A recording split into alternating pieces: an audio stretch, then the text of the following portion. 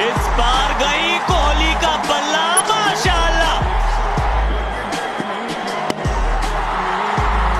चलिए, इस बार वो गई गेंद दर्शकों के पास। यहाँ पीछे फील्डर है ज़रूर, लेकिन बन गया दर्शक छह के साथ पचास के पास इक्कीस गेंदे अर्धशतक। विराट द